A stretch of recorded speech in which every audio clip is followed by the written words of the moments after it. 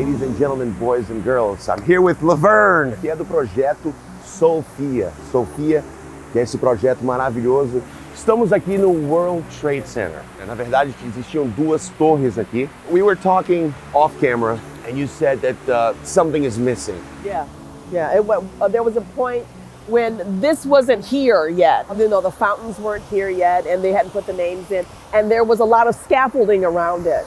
All of this entire area was scaffold. Scaffolding, essa é uma palavra interessante. Scaffolding é toda essa parte que eles colocam em cima para fazer as construções, quando eles vão pintar algum lugar, eles vão reformar. Scaffolding.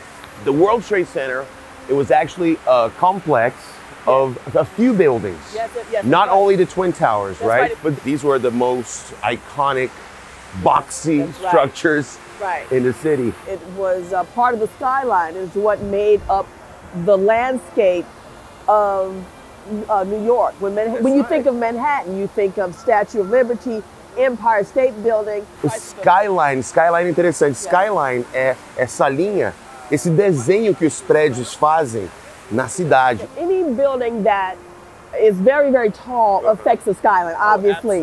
Like in Rio, the Christ, the Yes. sugar loaf, Exactly. that's like the skyline. But still, you can't fathom uh, buildings disintegrating. Exactly. Because these were very, very tall structures. Yeah. Os prédios eram enormes, gente. Então, assim, imaginar, como ela falou, disintegrating, desintegrando. Né? Collapsing, O, o desespero, the despair, the, you know, the people. And so, what did they do here? They made this pool? The whole point was to uh, capture all of the remains, human remains, and yet they ha- they don't feel they have captured all the remains. So the most dignified and respectful way to take care of that is to make a memorial. And then Yeah. write the names of the write the victims. Okay.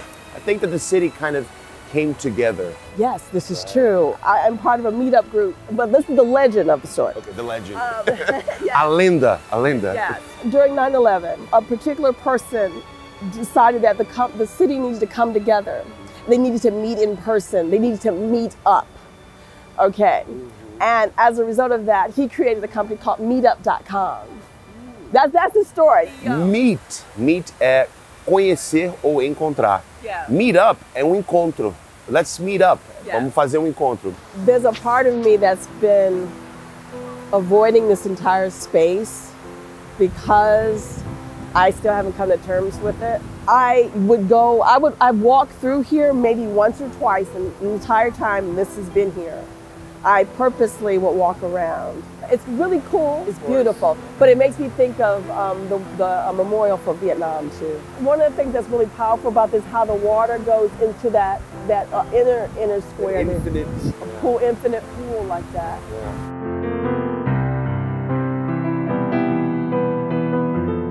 Ela tá lá no Sofia.